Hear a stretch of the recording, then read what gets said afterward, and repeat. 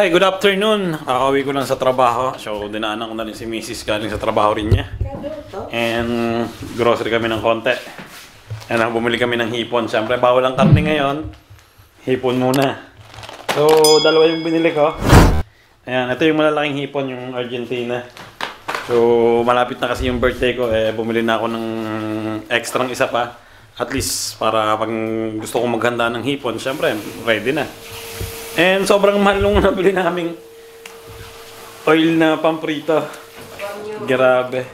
1 euro lang dati to dito. Tapos ngayon, halos 3 euro na. Ah, alam yun, halos doble ang inano, ang tinaas ng presyo. No, o nga, halos 3 times, 3 times yung presyo ngayon. And namili rin kami ng sibuyas yan. Sobrang dami namin biniling sibuyas. Bumili. Ah, hindi natin nabili yung ano, Ano? bawang. Ayun. Yan, bumili rin kami ng pang mga tawag dito, pang goto, pang basta pang mga sabaw. Sarap yan. Ba't di makita? Ayan. Ang yung pork belly, masarap yan. Air fry namin yan. Tapos kanin naman tayo ngayon. Diba? Pag-top ng talong. Yan, bumili rin kami ng talong. Lalaki ng talong dito. Dalawa? oh. Grabe oh. Yung dalawa. Yan. Pag-top. Murang-mura yung nabilan namin na Marokan na ano na negosyo. Ano, 88 lang yan. 88 cents lang pala to. Yan, ah, tingnan nyo naman. Ilang piraso to? 2, 4, 6, 8. 10 pirasong patatas. Grabe, mura. Yan. Ano sila, ah, taga Moroccan yung binila namin. At tingnan nyo naman, magsa 7pm na. Sobrang liwanag pa rin. Ayan. Haha. Malapit-lapit na naman kaming mag, ano nito, ah, camping, swimming, ano pa? Si, ano pa? Traveling. Traveling. And ready na yung niluto ni Mrs. Yan, ah. kahit siguro hainan mo ako ng mga mamahaling pagkain. Saka yung mga pizza-pizza na yan. Ayan. Two.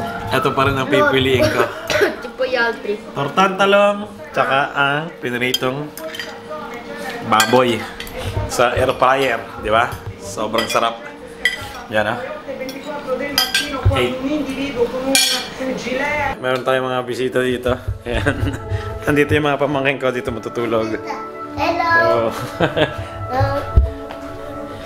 so yun, half day na lang ako bukas. Makakapag-vlog tayo na maganda. Mahaba-haba hanggang Monday, di ba? Hey, Cho. Ayan ang aming ano, future basketball player namin. Ayan yung, si- Marcos kasi ayaw na maglaro. Yung anak ko. So, ayan na yung papalit, di ba? So, yan tingnan nyo naman ang kagandahan ng sopa na to na malaki. Kasyang kasta pag may matutulog. Si Kuya doon daw siya matutulog sa kwarto niya. Hi, Friday! Magpa 5.15 na. So, punta kami dun sa lumang bahay. At pinapaalis sa amin yung, yung natitirang gamit dun sa garage. So, kasama ako ni Kuya. And, yun si Posty, ah, kakagala lang namin sa labas. And, sobrang init, grabe. Binaba ko na yung aming, ano dito, yung tenda ng bahay. Kusina. Ayan ah. Wow. Ayan kagandahan dito. Meron ganito yung bahay na to. Tapos meron din sa kabilang parte, kaso nga lang ang binaba ko. Itong parte na lang na to. So ayun, ah, nakapaglinis na kami ni Marcus dun sa kabilang bahay. So hindi ko na na-vlog kasi unang-una wala akong dalang camera. At pangalawa, ah, sarado na yung tatapunan namin ng mga ayun nga, ng mga cabinet na sinira namin. So siguro tomorrow ko na lang iba-vlog ulit yon para may content. Di ba, Chi? Ayun, naglilinis na si Mrs. ha, sipag oh. Yan. Siyempre, Friday ngayon, wala kaming trabaho and makakapag ano kami bukas. Yung bakasyon hanggang Monday. So, ayun, may papakita pala ako sa inyo. Yung aking regalo sa amo ko. Siyempre, mayroon tayong regalo. Kasi Easter Sunday, hindi pa naman ngayon sa isang araw pa. Sina saan? Nawawala. Ah, yun pala. Ayan, naregaluhan ako ng amo ko ng isang itlog na malaki. Ito yung may lamang sorpresa. Hindi ko lang kung anong sorpresa ang laman nito. Bale, ano siya? Ha? Cash? Sana nga. Ah, chocolate and white chocolate siya. Yan, sobrang sarap niyan. At bibili rin pala ako para kinabasti ng mga, ano, syempre, nung itlog na chocolate. Kasi ano dito yon ah, tradition nila yon pag nag-ano dito, nag Easter Sunday, lagi may regalong ganon, chocolate na malaki. Tapos may surprise na, na something sa loob. So, ayun, bibili pa kami ni Mrs. pang kay Basti, tsaka kay Marcus, dun sa anak namin. So, oh, nakabili, na, nakabili ka na, Machi? Oh! Ah, si Mrs. pala nakabili na. Ako lang pala hindi pa nakakabili. So, yun, sa ano namin bubuksan yun, Easter Sunday, yun, sobrang happy nun, di ba, Chi? Kasi yung mangyayari dito sa loob ng bahay, super happy kasi alam nyo naman, unang taon namin dito, kaya yung mga mangyayari dito, eh, syempre, first time namin mararanasan dito sa bahay na bago. Sa sarili naming bahay, di ba? So, ayun, tutulungan ko muna si Mrs. Eh, na yun, na-testing na rin namin itong aming ano, pang-block ng araw. Ayan, maganda kasi ng bahay na to pag may masikat yung araw. Sobrang masakit sa mata, tapos sobrang mainit, syempre. Ah, yun, pwede namin babayan yung dalawang yan.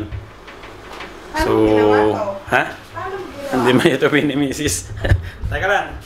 Yan, stripping ko muna si, ano, Posti. Tatanggalan ko muna siya ng mga patay na balahibo niya kasi pag pumupunta siya dun sa aming, di ba, no, sa sopa, eh, nagkakalat na yung kanyang balahibo.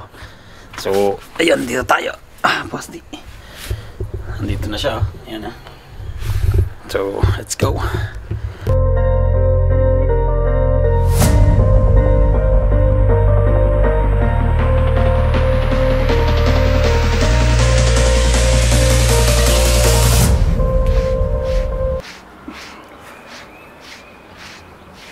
Palagi ko kailangan namin talaga siyang dalhin sa vet na. Yan ah, sobrang dami ko na nakuha. Sobrang dami pang na ano sa balahibo niya. Ayan oh, pag kumukuha ako sa ganan, tingnan nyo naman kung gaano kung nalulugo na yung balahibo niya. So, tingnan nyo, ang dami oh. Ayan ah. Kailangan namin siyang dalhin sa veterinaryo para dun siya iganon.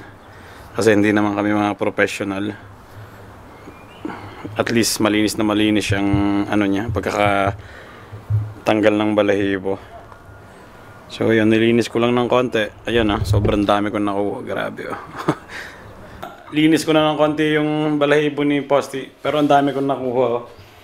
and ang dami pang nalulugon sa kanyang balahibo so ayun nag-decide kami ni Mrs. na siguro sa isang araw o sa biyernes dalhin namin siya sa ano um, veterinaryo para pa-stripping yan, ah, grabe yung balahibo niya, nalulugo na. Niyo yung damit ko. Hindi ko alam kung kita niyo. Yan, ah, sobrang dami ng balahibo. Ayan ah. Tingnan niya naman. Puro buhok ni Posti yan.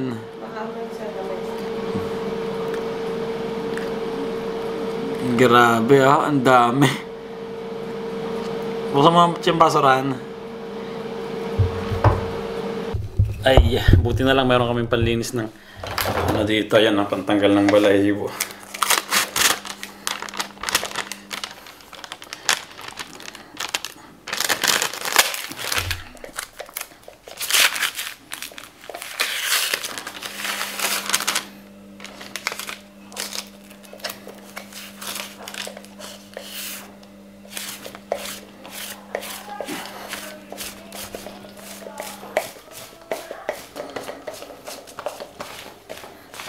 Tanggal pati balakubak ko, oh.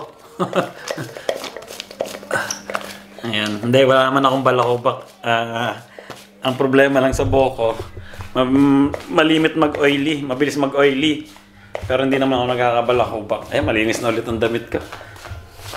Kanina, ang daming balahibo. Yun. Nakatawag kami sa veterinaryo na mag ano, ah, stripping, yung lilinisin yung balahibo niya. Sobrang mahal. Magkano isa? 30 euros ang isang oras, bale. Magkano yon? One, one five. 1.5 isang oras. Tapos yung isang tinawagan namin, mas mahal. 55. Grabe, 55. Ah, tapos yung isa naman, halos 3,000. Isang oras lang din.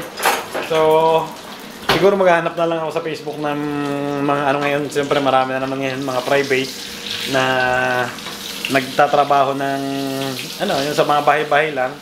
So, baka makakita ako. Titingnan ko mamaya sa ano, Facebook, sa market.